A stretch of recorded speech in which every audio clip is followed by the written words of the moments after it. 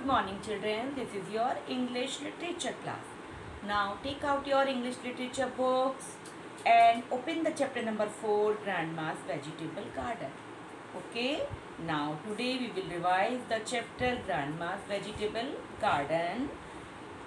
One day Grandma tells Asha. Grandma माने दादी one day एक दिन दादी ने क्या हुआ आशा से कहा please bring some vegetables from the garden bring माने लेके आना वेजिटेबल्स माने सब्ज़ियाँ गार्डन से प्लीज़ कुछ जाके सब्ज़ियाँ वेजिटेबल्स ले आओ। Asha takes a big basket and goes out big basket माने बड़ी बास्केट आशा ने बड़ी बास्केट ली और बाहर चली गई।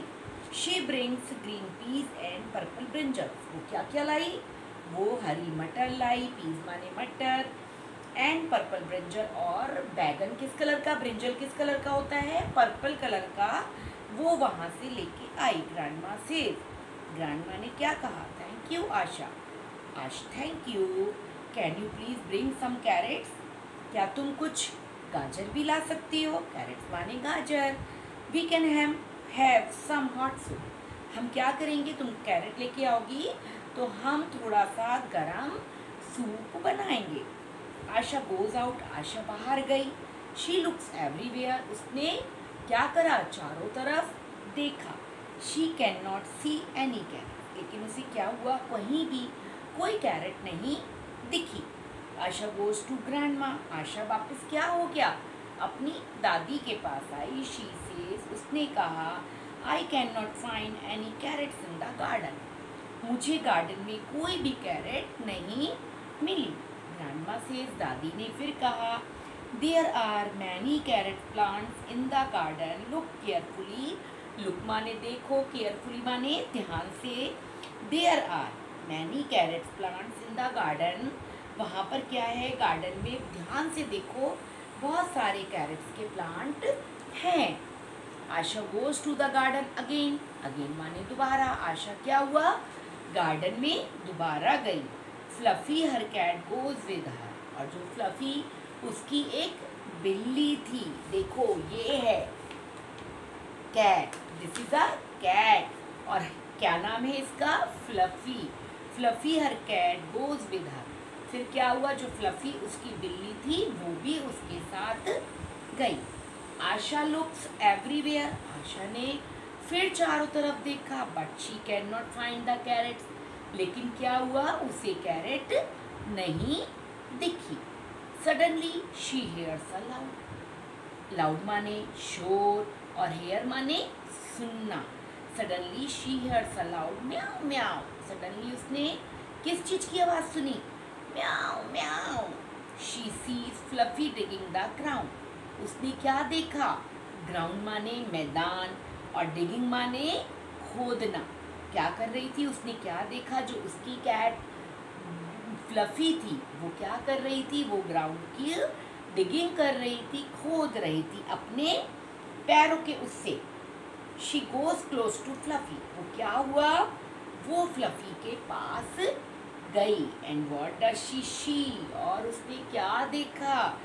शी सीज उसने देखा big orange carrots in the ground बहुत बड़ी बड़ी ऑरेंज कैरेट्स जो है, वो ग्राउंड में थी। Well done Fluffy says Asha happily happy माने खुश होके आशा ने क्या कहा? वेल डन फ्लफी जब आप भी कोई अच्छा काम करते हो तो आपके घर में सब आपको वेल डन बोलते हैं ना? तो वैसे ही जब फ्लफी ने उसकी कैरेट को ढूँढने में मदद करी तो आशा ने भी उसको हैप्पी होके वेल डन बोला। I hope all of you have understand आज हम इसके एक बार वर्ड मीनिंग भी रिवाइज करेंगे ओके?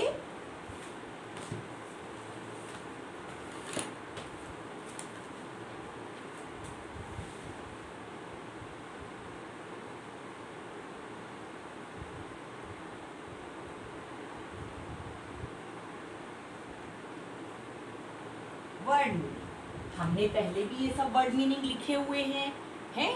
आज हम इनको today we will revise that every where everywhere का मीन्स क्या है? एट ऑल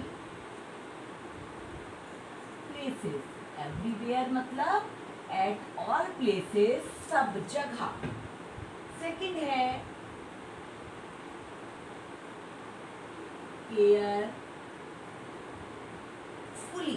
केयरफुली माने ध्यान से। तो इसका with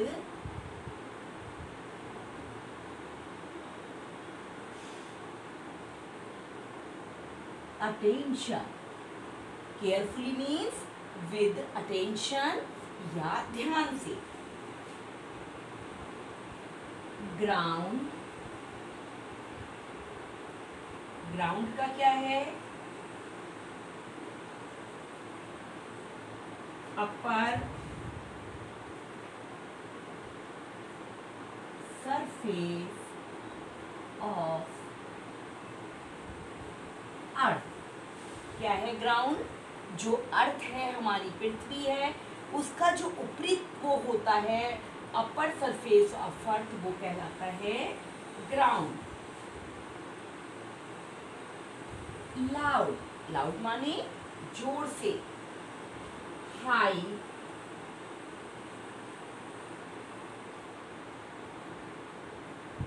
वॉइस और साउंड क्या है?